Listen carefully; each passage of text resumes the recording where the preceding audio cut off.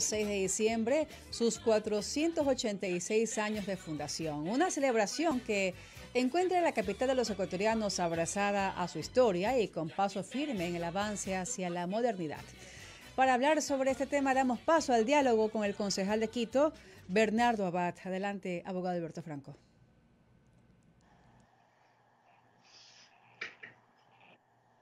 Muy buenos días al concejal Bernardo Abad. Bienvenido a UCSG Noticias. Alberto Franco lo saluda.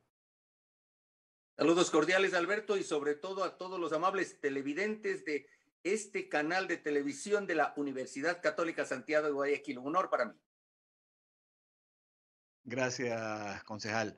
¿Cree usted que es necesario que la alcaldía de Quito invierta en eventos estando en plena crisis provocada por la pandemia? No. Y yo he sido claro, Alberto. Tomando en cuenta que estamos en una emergencia sanitaria, emergencia de salud, que ha generado además una emergencia económica, una emergencia social, gastar más de 550 mil dólares en conciertos virtuales y tarimas móviles no me parece una prioridad. Se han perdido alrededor de 100 mil empleos plenos en Quito. Según las cámaras de la producción, Quito ha dejado de recibir más de 14 mil millones de dólares. El gobierno central le debe a Quito alrededor de 300 millones de dólares entre asignaciones presupuestarias y la devolución del IVA.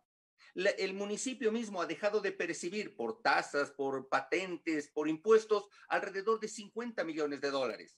El alcalde de Quito ha reclamado conjuntamente con los alcaldes de todos los GATS eh, cantonales, los 221 alcaldes han reclamado por esas asignaciones presupuestarias.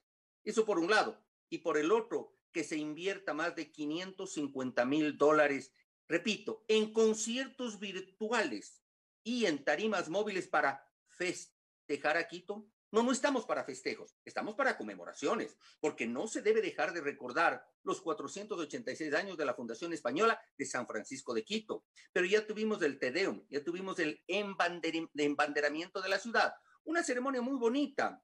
Vamos a tener la sesión solemne el próximo 6 de diciembre. Va a ser abierta y obviamente va a ser al aire libre, correcto.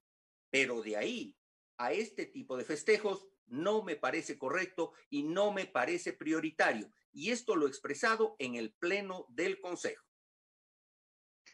Su oposición al alcalde Yunda es de orden netamente político, eh, conductual o por actividad propia del Consejo?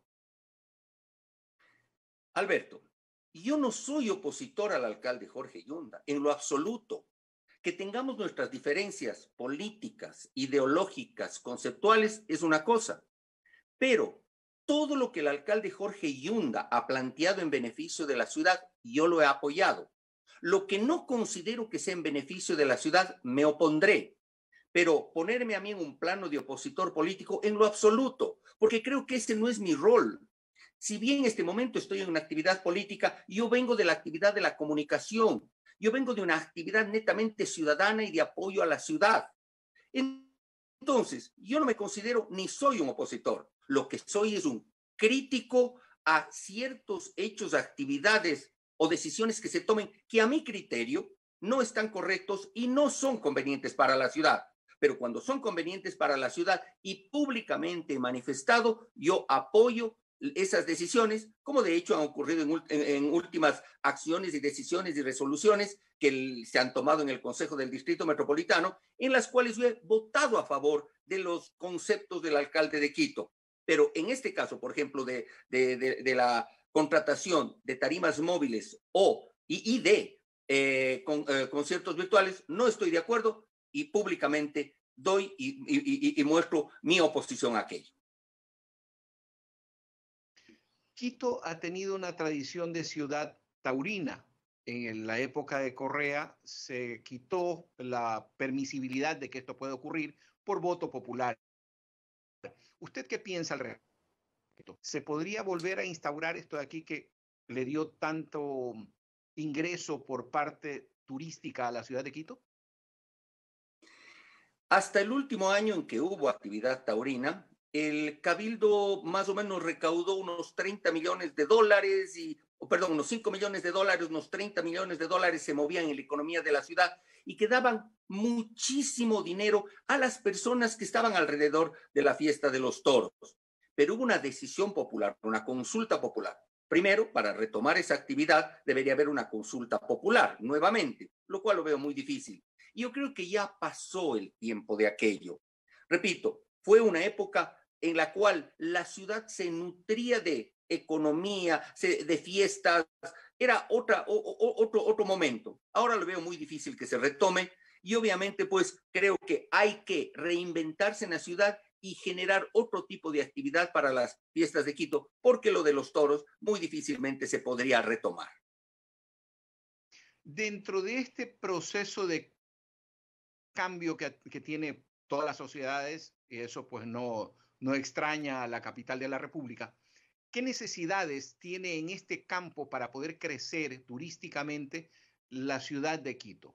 ¿Qué problemas se le presentarían para esas actividades que podrían plantearse? Primero, tomemos en cuenta la circunstancia actual.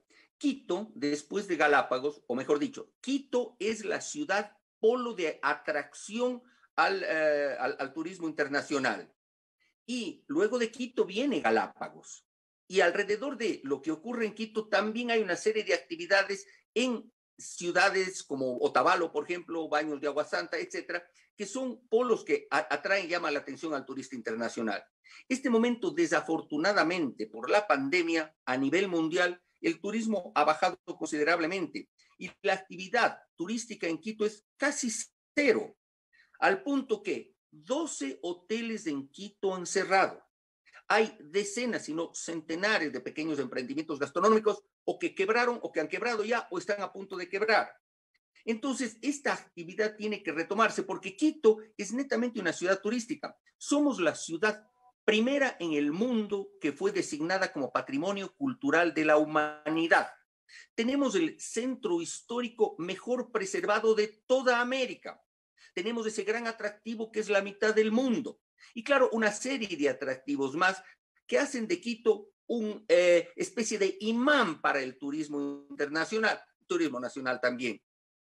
Este momento con la pandemia, una gran cantidad de estos emprendimientos han quebrado o están desafortunadamente a la baja. Hoy es un momento de la reactivación económica y productiva y la invitación, por ejemplo, a los ecuatorianos a que se vengan aquí en estas festividades. La invitación a que vengan también en, Navidad y Año Nuevo y en, otra, y, en otro tipo de celebraciones para que conozcan a esta ciudad. Es difícil en todo momento porque todas las ciudades tenemos un, estamos con dificultades, pero también hago una crítica a la, a la, alcaldía, porque el alcalde mediante resolución de él, y esta es otra de las cosas con las que no estoy de acuerdo, decidió que hay una restricción vehicular. Es decir, en Quito se mantiene el par impar, lo cual mm, realmente afecta a la producción y a la movilidad.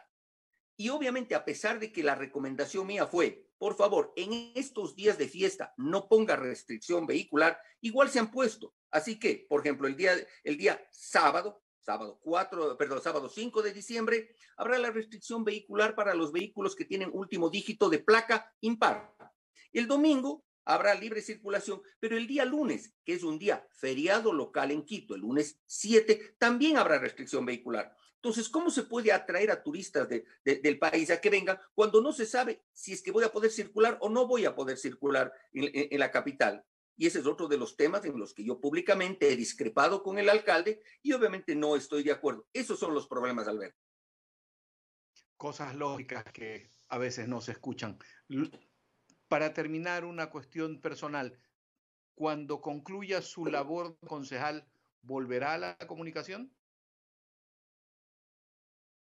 La verdad que lo digo, este momento es una actividad temporal el ser concejal. Trato de ser concejal y el mejor concejal. Trato de luchar, pelear, trato de trabajar por esta ciudad. Yo soy cuencano, por supuesto, soy cuencano de nacimiento, quiteño de corazón, tengo el corazón dividido. Pero lo que digo es, luego de esto, ¿qué, ¿qué vendrá? No lo sé, pero sí también puedo decir, la actividad política es desgastante, y la comunicación es una pasión. La comunicación es lo que tengo en el corazón y llevo adelante desde hace más de 35 años. Así que quién sabe, lo único que digo es que a lo que me dedique después de estos años en la concejalía, trataré de hacerlo lo mejor y siempre, siempre apoyando a la comunidad. Muchas gracias al concejal Bernardo Abad por haber estado con nosotros a esta hora en la mañana y por sus palabras en torno a la realización de las fiestas de Quito y de lo que es la comunicación. Un muy buen día. Siempre un honor, Alberto, y un gusto. Volvemos luego de los siguientes mensajes.